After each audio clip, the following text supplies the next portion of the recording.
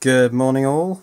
The problem with shopping at Lidl is that you inevitably end up in the non food aisle and end up bringing home a whole load of gadgety things like solar summer fairy lights and uh, a football themed uh, power bank. And also this, which caught my eye, it's a radio controlled alarm clock. So let's have a look at this alarm clock, because I've never actually had a, a radio controlled clock before, I don't think.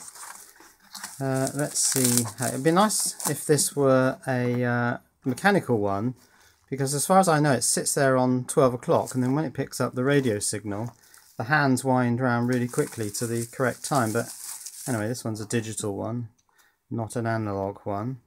Uh, so let's switch it on by pulling this uh, plastic tab out which connects the battery. And away it goes. Uh, the snooze button works as a light.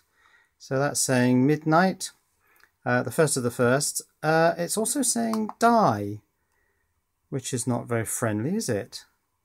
That's not very nice. Um, and it's also trying to acquire the uh, radio signal in order to sync the clock with the radio transmitter. Now, die, of course, means Dienstag, which is Tuesday in German. And that's because the default language that this thing is set to is German. Now, to change that, you have to press and hold the menu button. But interestingly, let's put the light on. That doesn't actually seem to do anything while it's trying to acquire the radio. So can I turn the radio off? Yes. Now press and hold the menu button. And now we're able to set, well, this is the time zone. So let's go negative one. That puts um, me to the 31st of the 12th, 31st of December. And that's not Monday, it's Montag. So let's wait until it well, actually, let's carry on. Uh, that's the time, that's the date. And then there's the language. Now that's German, Italian, English. So with uh, minus one hours from Central European time, because that's the default on this unit, because of course it's German, it came from Lidl. So it's preset to Central European time. So I've set it to minus one hours from there, that's uh, UK time and using the English language, when that finally settles down, that should give me uh, Monday in English. And now, of course, the time will only be set correctly, unless I set it, of course, uh, when it picks up the radio signal. And it's probably not going to do that downstairs. It, it has been doing it upstairs, uh, but probably not down here because there's too much radio interference down here. And, of course, the signal strength is going to be lower uh, downstairs. So what I want to do is uh, open this thing up and take a look inside, see if I can find the radio receiver and see if I can tap into that radio receiver. Um, I might also try and add an antenna to it, which will just be a very long piece of wire. See if I can tap into the radio receiver, um, check out the carrier wave and also see if we can see uh, some modulation of that carrier wave, which will be the time and date data. So uh, let's start by, oh that's not going to fit, smaller screwdriver required. So let's take these four screws out of the back and see whether the radio module is separate to the clock module, in which case we stand some chance of uh, tapping into the radio module output uh, to put that on the scope. So this is what's inside. There's um, a clock board here uh, the display seems to be under there. Uh, that's got a crystal on it, uh, a capacitor, and also a thermistor because on the clock you have a temperature display. Yes, there it is, 23.3 centigrade. Um, it's trying to acquire the radio signal, but I don't think it's going to manage that. Let's just turn the light on. Because as I say, this room is very noisy from a uh, RF point of view, and also I'm downstairs. Uh, inside here you can see uh, the coil of wire wrapped round a ferrite bar at the bottom back there.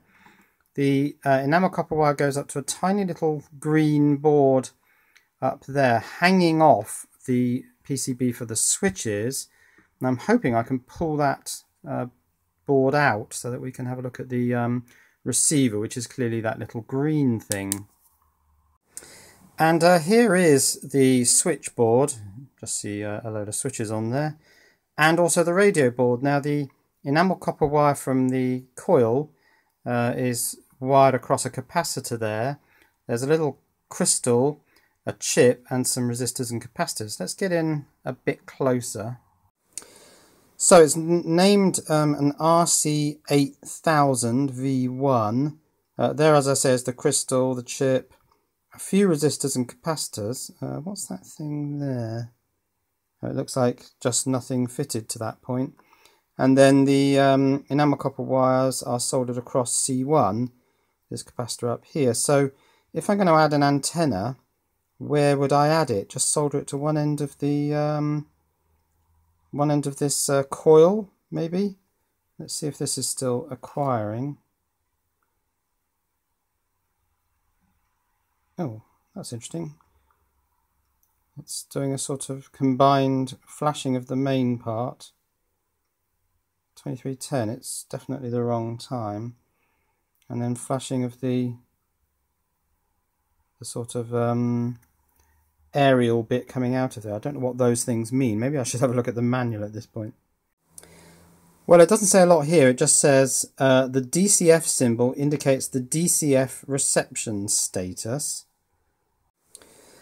Uh, LC display quick function check starts receiving the DCF signal. For details, refer to the automatic and manual DCF signal activation. This process may take a few minutes and is indicated by the DCF symbol flashing in the info field number 7. Uh, upon successful reception of the radio signal, the DCF symbol will stop flashing. So that's all it says. It also says uh, it's now in clock mode and indicates the current time CET, Central European time. So that's why I had to set it minus one hour for UK time and then change the language. Uh, the DCF signal time signal transmitter consists of time pulses emitted by one of the most accurate clocks in the world close to Frankfurt. Uh, Frankfurt am Main, Germany. This varies by one second in 30,000 years. Well, the point is there's an atomic clock somewhere and then the uh, time from there is sent out as a series of pulses. Now, quite how the, the delay between the atomic clock and the pulses being sent out, what that would be, I don't know. Uh, what else does it say about the DCF? It says receive the time signal under optimum conditions up to distance of 1500 kilometers uh, from Frankfurt. So we are within 1500 kilometers of Frankfurt, so I should be able to receive it, but perhaps I need a bit of help. Now up here on the um, windowsill, I've got a piece of wire. This is actually the ground from my solar panels, but that uh, runs quite a long way sort of up over the house and round out to the solar panels which are in the garden. So I'm reckoning that could be an antenna. It's just a very long piece of wire. If I stick some croc clips on there and bring it down to the clock, uh, should I direct couple it or capacitor couple it? I don't really know, but let's just try connecting something up. Well, I'm not sure if my antenna idea is going to work, so instead I've just brought it out into the garden. Uh, see if I can get the sun on it. So the symbol is flashing. Doesn't seem to be acquiring because it's still saying the 31st of December. Let's take it up to the end of the garden. Every now and again the display changes from the sort of base of that antenna symbol flashing to some actual sort of radio waves coming into that antenna. There we are. It just changed then. Let me see if I can get that bit more consistent. I've got a feeling it might almost be the camera causing interference. If I bring the camera too close to it, you seem to get that flashing base. If I take the camera further away, you seem to get the radio waves thing. So maybe I'll just leave it here for a bit with the camera turned off. Right, I've stuck it on the roof of the shed to see if it can uh, acquire this signal. It hasn't done yet, it's still saying the 31st of December and the time's wrong. Now Germany is over there somewhere, so hopefully he'll pick it up in due course. Aha, it seems to have got it. It's uh, the 4th of August, it is a Thursday, and it is approaching midday. And the symbol there for the uh, antenna thing has now become uh, static and on, so that means it's acquired the signal. So yes, it's got the time. So now that it's acquired the time signal, of course the clock is just running under its own crystal, um, it's also got DST there, which is daylight saving time. Now that would have come over as probably one bit in the packet of data that came over the radio. Uh, it is daylight saving time, of course, because it's summer, August. Now, I thought that there was a time transmitter in Rugby in the UK. Um, this one, because this product is German, I mean, it's uh, it's supplied by Lidl and it uh, it's clearly uh, made in Germany, GmbH there, um, is tuned to the German time signal transmitter. So what's the difference between the, the rugby one and the German one? So I've gone, of course, to Wikipedia, and here's the article on radio clock, not to be confused with clock radio, of course. And uh, there's a list here of the radio time signal stations. Now, some of them, uh, these ones in Russia and Belarus, they're running at a frequency of 25 kilohertz. That's ridiculous. That's barely above audio frequency. That's very, very long wave, low frequency transmission.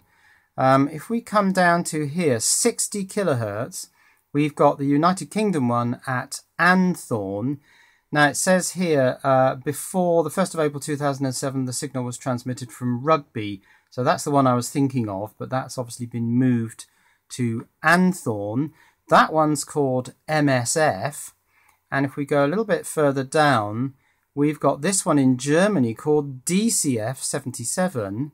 And the manual in this clock radio keeps talking about DCF. So it's this one. It's at uh, Mainflingen. Uh, I presume that's uh, just outside Frankfurt. 77.5 kilohertz, um, which has a range of 2,000 kilometers. And uh, if we look on eBay for uh, radio controlled clock, there's one here which is a DCF radio controlled clock, so that's presumably tuned to the German time signal. Uh, $16. I'm sure this clock that I got from Lidl was $4.99.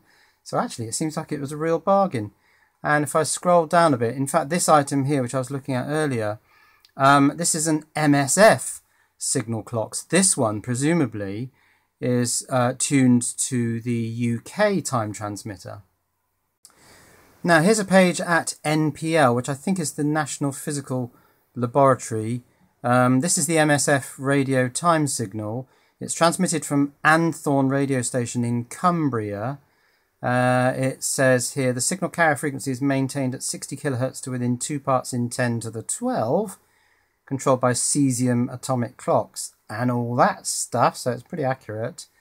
Um, there is uh, a PDF here which explains the format of the time and date code, so we could have a look at that. But my clock is DCF, so uh, let's see if I can find DCF. Right, I found this, timetools.co.uk, the DCF77 German time and frequency broadcast.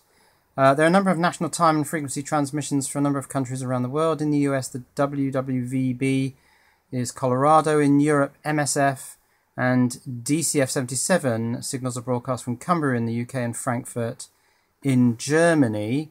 And there's a bit more uh, detail about this. Now, there's also here data is broadcast as a series of bits in a binary coded decimal BCD format and here it gives you all the bits and what they contain and uh, there's uh, BCD encodings of month, week, year. There's also parity bits which presumably uh, the receiver will reject if the parity bit's wrong so that helps it decide whether it's received a reliable signal or not. But what I really want to do is see if I can uh, see anything coming out of this little radio board.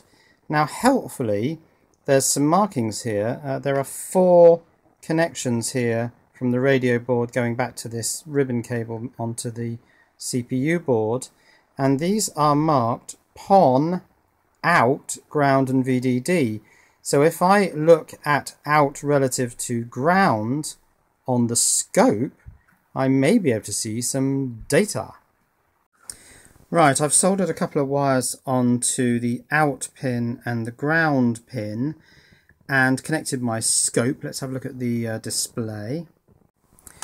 And there are some pulses coming out of the out pin, but they're all, they're very slow, which you'd expect with a very slow carrier wave. But these pulses, for one thing, are heavily differentiated, or they look differentiated. They're not occurring very often. Perhaps it depends how near I get to the receiver.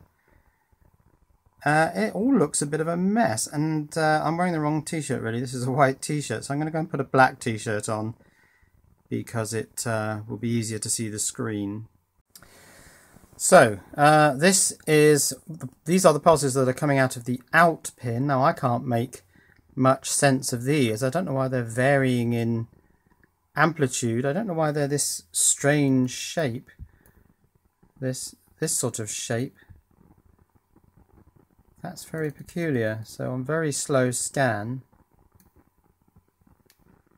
this is what's coming out. But it's all a bit jumbled, so it's not surprising that the clock is really struggling. Ah, now there's some more data. But is really struggling to pick up these time codes and make any sense of them. Very interesting. I don't think I'm going to be able to analyse uh, those bits of data for whether they're month, day, week, or whatever. I was just wondering whether I could perhaps connect my antenna back on now. My bit of wire, and I've got a, a 220 puff capacitor. I might try and attach this to the uh, ferrite and see if I get any more information on the scope. So I've just sort of dangled that piece of wire. It's just hanging on the uh, one side of the coil. And I do think it received a signal because that's actually gone off now. And I think that's because it acquired the signal and has turned that P on, the power on line off. So, oh, that's just fallen off. So let's just press and hold that, which should put it back into reacquire mode. So there it goes. Let's see if I can just attach this to one side of the that does seem to be bringing in a fair bit of data now. And if it acquires the signal and can make sense of it and can set the clock, then it should actually mute this stream of data because it'll turn off that P on signal and this stream of data will be muted. If that happens, I'll restart the camera. Hmm, well I'm struggling to get it to do it now. It just seems to be uh, continually trying to acquire that data. Now in the manual it does say it will keep trying for seven minutes and then if it uh, can't capture all the data intact it will give up and stop after seven minutes. So that could be another reason why it timed out I suppose. Um, okay, so that's the data coming out. Can't really make any sense of that. But let's turn my attention now to the carrier wave and attach the scope um, to one end of the coil and just see if we can see this 77.5 kilohertz carrier wave. Well, I've capacitively coupled the scope probe to one end of the uh, ferrite rod connection and I'm getting something here but I don't know whether I'm perhaps interfering with that. Heisenberg's uncertainty principle may be at work. Perhaps I'm affecting the frequency of what's going on there but the scope is sort of reading it as, well, 63 kilohertz. So not the 77.5 kilohertz that it's meant to be. So I'm not even sure that that is the carrier wave. It's a shame. I was hoping I would be able to see that. And I'm not even sure what this is really. If I try to um, speed the scope up to see it in more detail, the scope just sort of then fills it in with high frequency noise.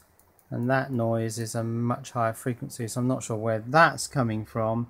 I mean there could be interference coming from all over the place but no I'm not really seeing that 77.5 kilohertz signal. Shame I was hoping to see that well now that's weird the clock just went beep reset itself uh, and the batteries are really hot really hot those batteries are, so I'm not sure whether I shorted something out. Yeah, they're just really hot. And they're alkalines. What have I done? Well, it doesn't look like I've entirely killed it because uh, data seems to be coming out of that D-out pin. So it seems that the uh, receiver is receiving the timecode signal. Uh, I guess I'll just put this thing back together again and see if it uh, locks back on. So that's the uh, thing back together again. The batteries are still a bit warm. The thermistor is reporting that the temperature inside the unit did climb a little bit.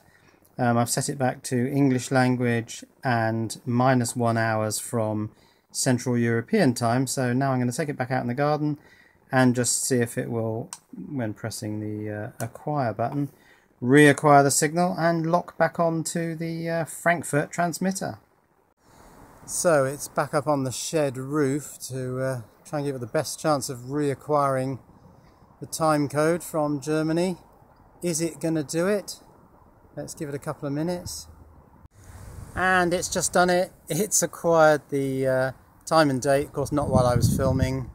It took several minutes to do it, which is really strange. 4th of August, Thursday, and it's nearly 1pm now. So there it is. That's the uh, £4.99 radio controlled alarm clock from Lidl. Uh, it's kept me amused for ooh, over an hour, I think. I nearly managed to blow it up, but not quite. It's still working fine.